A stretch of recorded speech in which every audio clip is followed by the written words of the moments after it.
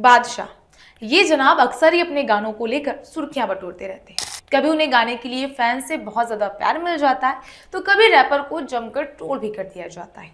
वही कभी कभी अपने अजीबो गरीब स्टेटमेंट की वजह से चर्चा में बने रहते हैं।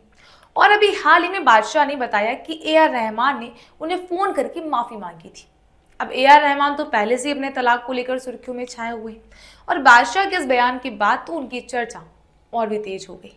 तो चलिए, अब हम भी जानते हैं कि आखिर ऐसी क्या वजह थी जब ए आर रहमान को बादशाह से माफ़ी मांगनी पड़ी। हेलो फ्रेंड्स आप सभी का आपकी खबर में बहुत बहुत स्वागत है और मैं हूँ आपके साथ सुप्रिया सिंह।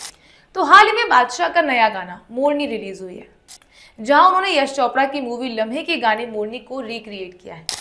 वैसे गाने को एवरेज रिस्पॉन्स तो मिल रहा है, यानी कि कुछ लोग लिख रहे हैं कि पुराने गाने को नहीं छेड़ना चाहिए था तो वहीं कुछ का मानना है कि बादशाह वाले वर्जन में वाइब तो है।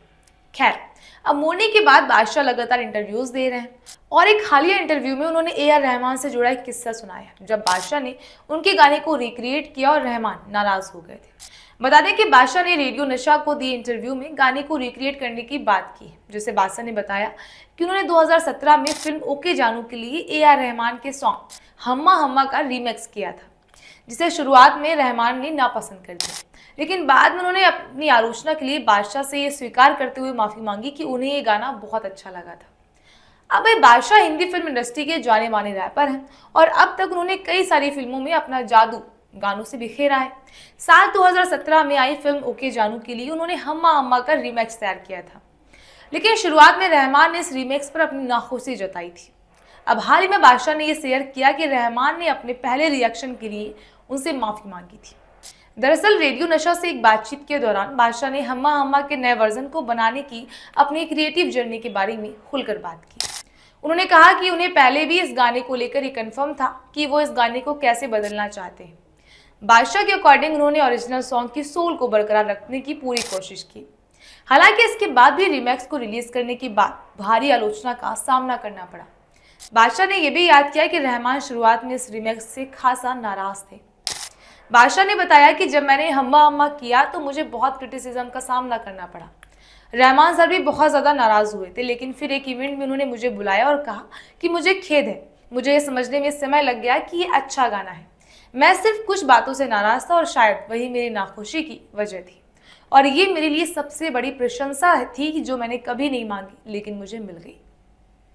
वैसे अगर हम्मा हम्मा के ओरिजिनल सॉन्ग की बात करें तो मैं आपको बता दूँ कि रहमान ने मणि रत्नम की फ़िल्म बॉम्बे के लिए हम्मा हम्मा गाना कंपोज किया था। ये बहुत ही पॉपुलर सॉन्ग है और बहुत सारी फॉरेन मूवीज़ में इसकी टून यूज़ की गई है। जिसके बाद बादशाह ने साल 2017 में आई ओके जानू के लिए इस गाने को रिक्रिएट किया था। उसका टाइटल द हम्मा सॉन्ग था। आपको बता दें कि रैपर बादशाह ने बॉलीवुड के कई सारे गानों को रीमेक्स किया है। जहाँ उनके कुछ गाने, जैसे काला चश्मा को बहुत पसंद किया गया, वहीं गोरे गोरे मुखड़े जैसे दूसरे गानों को क्रिटिसाइज भी किया गया। अगर बादशाह के वर्क की बात करें तो वो इन दिनों TV reality show Indian Idol के नए सीज़न में नज़र आ रहे हैं। शो में वो बतौर जज श्रेया घोषाल और विशाल ददलानी के साथ दिखते हैं और इस शो को उदित नारायण के बेटे आदित्य नारायण होस्ट कर रहे हैं। अब आप मुझे कमेंट करके बताइए कि आप एज ऑडियंस बादशाह के गानों को कितना ज़्यादा पसंद करते हैं और आपको हमा हमा सॉन्ग के दोनों वर्जन में किस सिंगर का सॉन्ग सबसे ज़्यादा पसंद है? फ़िलहाल इस वीडियो में बस इतना ही। जल्द मिलते हैं दूसरे टॉपिक के साथ। तब तक आप अपना ख्याल रखिए और देखते रहिए। आपकी खबर।